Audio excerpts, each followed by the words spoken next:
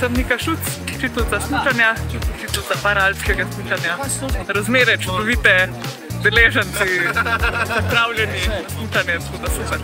Viski je smučarski pripomoček za gibalno ovirane, uh, ima to školko, sedalo, kamor se udeležene posede, mehanizem, ogrodje in pa dve smuči, seveda za drsenje po snegu in zavijanje.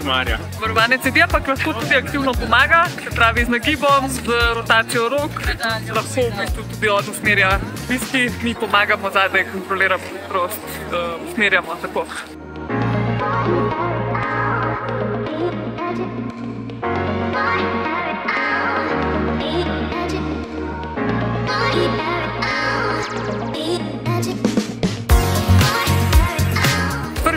smo v Slovenijo pripeljali leta 2007 uh, v sklopu Sončka, slovenskega društva za cerebralno paralizo.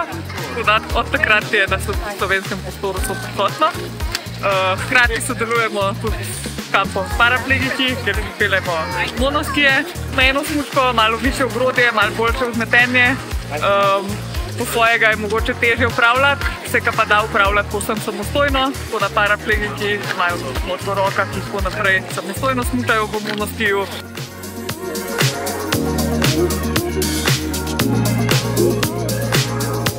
V popoldanskem delu se pa potem imamo pa še druge predstavitve športov, um, imamo curling, imamo um, danes tudi kemijske eksperimente, ki jih pripravlja Lek.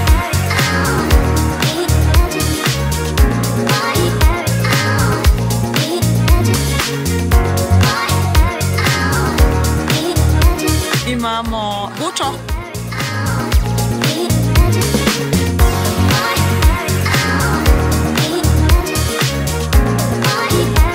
tudi možnosti plavanja, ples in še veliko drugih um, možnosti ustvarjanja športov.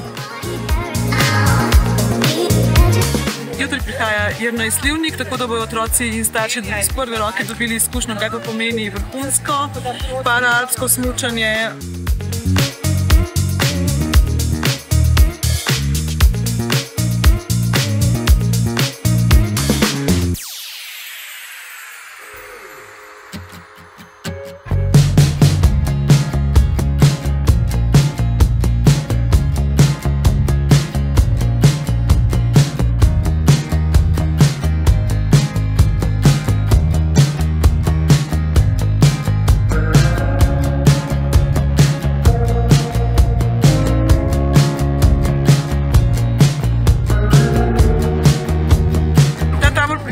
Otrokom to in njihovim staršem, da dobijo pogled v to, s čim se vse lahko njihovi otroci ukvarjajo, s kakšnimi športi, česa vsega so praktično sposobni.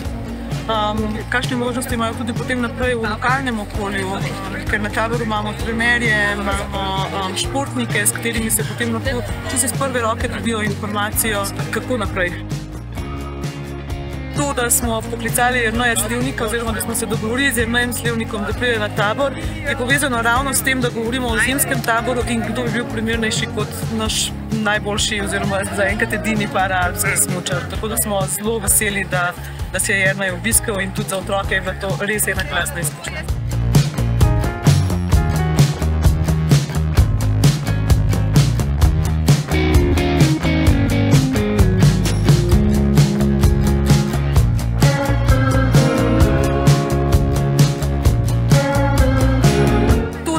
Pred nami Zveza paraplegikov, je bila res dobra odločitev, ker so nam pomagali zelo pri, pri logističnih zadevah, pri opremi. To je bistvu vse za nas novo, tako da je bil kar velik organizacijski, logistični in finančni zalogaj.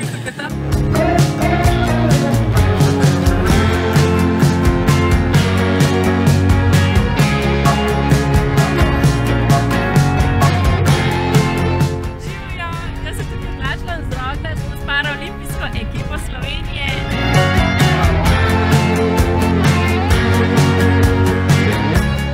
In še tekmovanje smo imeli v slalomu.